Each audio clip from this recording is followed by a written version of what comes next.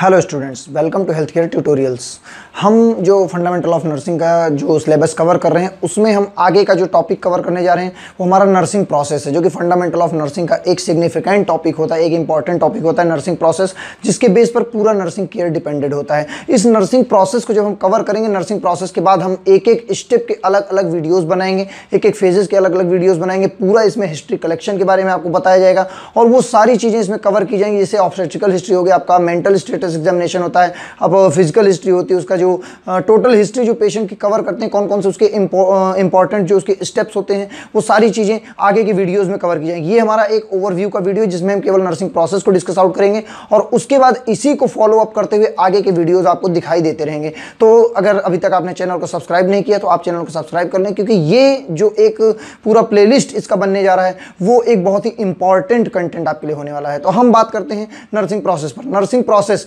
हिंदी में उसको नर्सिंग प्रक्रिया कहा जाता है। मतलब आप नाम से चीज़ों को समझ सकते हैं कि एक ऐसा प्रोसेस जिसमें आप नर्सिंग केयर जो है, उसका क्या गोल होगा, उसका क्या आउटकम निकलेगा, उसका क्या एरिया होगा, कितना हम उसको वास्ट ले जा सकते हैं, क्या केयर हम करेंगे, कैसे हम उस नर्सिंग केयर को आगे पहचानेंगे, कैसे उसको करेंगे, कैसे इंप्लीमेंट करेंगे, कैसे इवेलुएट करें, वो सारी चीज़ें समझना। एक स्टेप वाइज जो है उसका डिटर्मिनेशन करना, वो हमारा नर्सिंग प्रोसेस होता है, जिसमें पेशेंट की केयर के लिए आगे एक केयर प्लान पूरा हम डिसाइड करते हैं, वो नर्सिंग प्रोसेस के बिहाफ पर ही डिसाइड करते हैं। इस नर्सिंग प्रोसेस के पाँच मेन मेजर स्टेप्स होते हैं या फेजेस होते हैं, जिन्हें कुछ बुक्स में आपको सेवन स्टेप्स भी दिखेंगे। हम पाँच और सात दोनों स्टेप्स की बात यहाँ पर आपको कर देते हैं। पाँच स्टेप्स जो है, वो मोस्ट कॉमन स्टेप्स होते हैं। आप जानते हैं असेसमेंट जिसमें आप पेशेंट जो है, वो नर्सेज जो है, वो पेशेंट के बारे में इंफॉर्मेशन गैदर करने का काम करते हैं।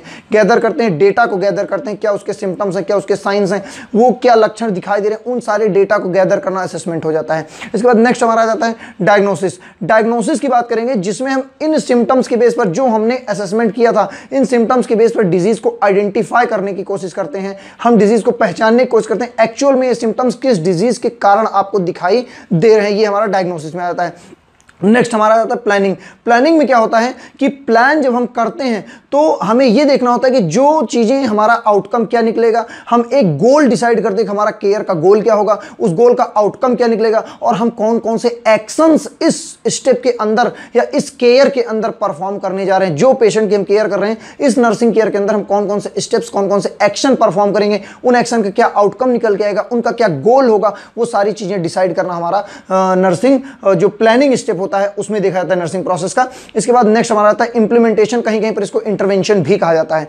इंप्लीमेंटेशन मतलब जो एक्शन हमने प्लान किया है, जो हमने प्लानिंग में चीज़ों को प्लान किया था गोल सेट किया था, जो आउटकम एक्सपेक्टेड किया था, उन चीज़ों को आउटकम को पाने के लिए हम क्या करते हैं? उन्हीं एक्शन को परफॉर्म कराते हैं। मतलब काम को करते हैं। लाइक हमने अगर सोचा था कि हमें पीसीएम देनी है तो हम इंप्लीमेंटेशन या इंटरवेंशन स्टेप में उस पीसीएम को प्रोवाइड करा देते हैं। हम दे देते हैं। वो हमारा इंप्लीमेंटेशन मतलब लागू करना हो जाता है, जो भी हमने प्लान किया था। इसके बाद लास्ट वन हमारा आ जाता है इवेल्युएशन इवेल्युएशन मतलब हो जाता है मूल्यांकन करना। मतलब जो हमने उसके ऊपर इंप्लीमेंट किया, जो हमने लागू किया, जो हमने उसको केयर दिया, उनका क्या आउटकम निकल के आया? क्या वो आउटकम एक्सपेक्टेड था? क्या हमने जो एक्सपेक्ट किया था वैसा आउटकम है? या कुछ रेदर देन एक्सपेक्टेशन जो हमारा आउटकम निकल के आ रहा है, कुछ वैसा आउटकम है? क्या हम अपनी जो नीड्स थी, उस पेशेंट की जो नीड्स थी, जो केयर की नीड्स थी, क्या हमने उनको यहाँ पर अचीव किया है? अगर नहीं किया तो कैसे अचीव कर सकते हैं? इसी प्रोसेस को आगे फिर रिपीट करते हैं ताकि उन गोल्स को अचीव किया जा सके। ये हमारा फाइव स्टेप में आता है नर्सिंग प्रोसेस में।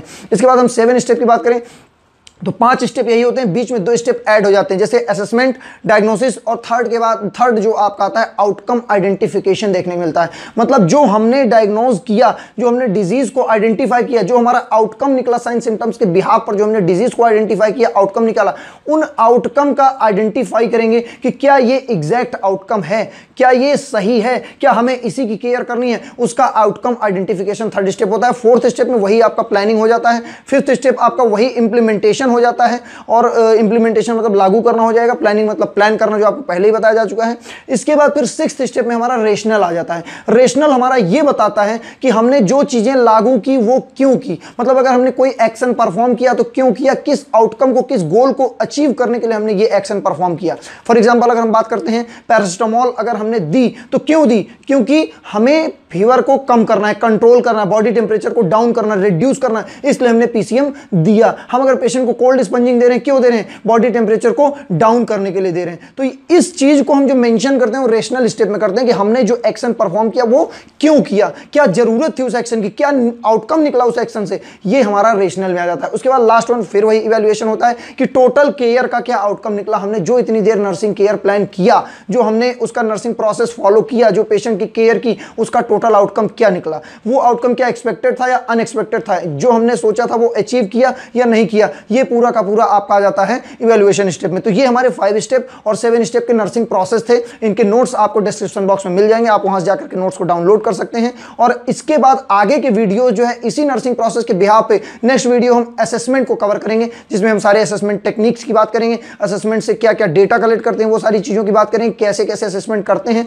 कैसे क्या उसका प्रोसीजर होता है, वो सारी चीज़ों की बात हम एक एक स्टेप की असेसमेंट डायग्नोसिस प्लानिंग वगैरह की करते हुए आगे बढ़ते चलेंगे। उसके बाद हम कंप्लीट हिस्ट्री कलेक्शन की भी बात करेंगे पेशेंट की हिस्ट्री में क्या क्या चीज़ें ली जाती हैं क्या क्या कंपोनेंट्स उसमें फॉलो किए जाते हैं कौन कौन से डेटा को कलेक्ट किया जाता है, वो सारा स्टेप वाइज प्रोसीजर को हम आपको बताएँ कंप्लीट हिस्ट्री की बात करेंगे यहाँ पर हम पेशेंट की साइकेट्रिक हिस्ट्री कलेक्शन की बात करेंगे mental status examination mini mental status examination obstetrical examination अगर पेशेंट जो है वो फीमेल केस में है तो या अदर जो भी असेसमेंट है, जो भी एग्जामिनेशन हैं, उनको हम यहाँ पर आगे जो फॉलोअप वीडियोस आएँगे, उनमें हम बातें करते चलेंगे। तो अभी तक आपने अगर ये चैनल को सब्सक्राइब नहीं किया तो चैनल को सब्सक्राइब करें और thanks for watching the video